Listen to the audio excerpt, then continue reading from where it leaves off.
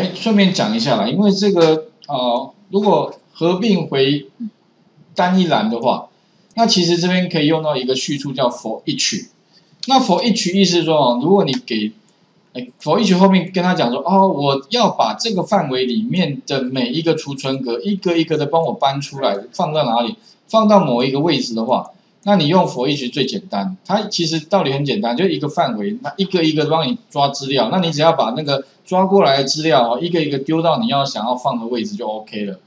所以以后如果遇到这种状况哈，哎，当然这里的话，如果合并回单栏，你其实你也可以用那个 index 或 index 啊，只是说哇，那公式也是非常冗长，倒不如哈用 VBA 来的简单。OK，那怎么写啊？首先第一个一样，我们写一个 sub。啊，合并回单啊，回回一栏，OK，Enter 一下，然后呢，接下来后面打一个叙述叫 for each，哦，这个地方哦，一 for each 嘛，哦，就是我要回圈 for for each 后面加个变数，我取一个名称叫 sale，这个自己取个名称，后面空一格叫 in，in 的话在哪一个，告诉他哪一个范围 range，呃，我跟他讲说，呃，在那个 D 二哈，D 二到 H 九的这个范围哦，Enter 两下，打一个 Next，意思是说帮我把这个范围里面的每一个储存格一个一个的抓到 Sales，所以他会先抓哪一个？先抓人事部放在 Sale，再抓入职时间这个日期放在 Sale，嗯，意思就一直跑到跑到这个为止哦。OK，所以它等于是把这个范围里面的每一个储存格一个一个帮你把资料抓过来。那抓过来之后的话，你要做什么处理？哎，那当然我就要把它放在这里，所以它是追栏嘛，哈，所以我就打一个 sales，刮胡，哎，哪一列？当然这边的话哈，我们是从第二列开，所以这边可以打一个 K 栏，第 K 列哪一栏？第追栏，等于什么呢？等于后面加一个 sale，有没有？啊，这边就 K 啊，预设值等于什么？K 等于多少？从这个第二列开始放，所以 k 等于二，然后记得哦，k 等于二，然后后面记得要什么？k 等于 k 怎么样？加一，有没有？啊，意思是说先放在这里，啊，下一个怎么办？再放在这里，有没有？k 加一嘛，一直往下，一直往下放。OK，好，那这样的话，程式就写完了。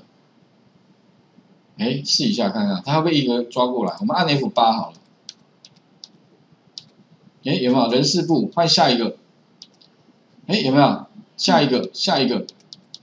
所以你会发现一直往下，它等于是说了，意思很简单嘛。所以这个 for each 还蛮值得把它稍微记一下，因为以后如果你遇到哦，哎，它刚好是一个范围的资料，你要把那个范围资料放到另外一个范围去的话，另外一个位置去，你就 for each 的写法就 OK 了。好，那最后的话呢，把它全部执行，全部搞定了。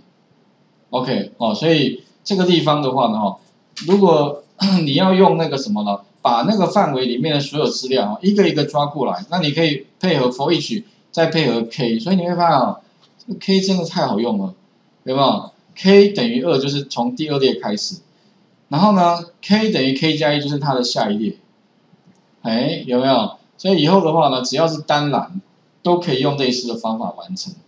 哦，那这边的话，请各位试试看。我好像有把类似的这个程式码哦，把它放在这个云端白板上面的第八页。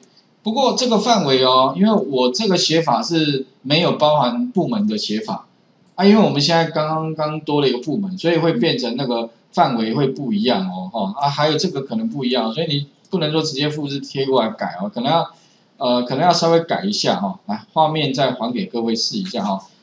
来写一下，那当然哈，这些东西基本上呢，尽量就是活学活用了哈。那主要就是一般如果用 Excel 函数哦，里面那些函数它没办法办到的话，有时候真的用 VBA 来解决问题哦，哎，反而甚至比那个用 Excel 内建的函数哦还来的简单，其实有时候反而简单很多哎。OK。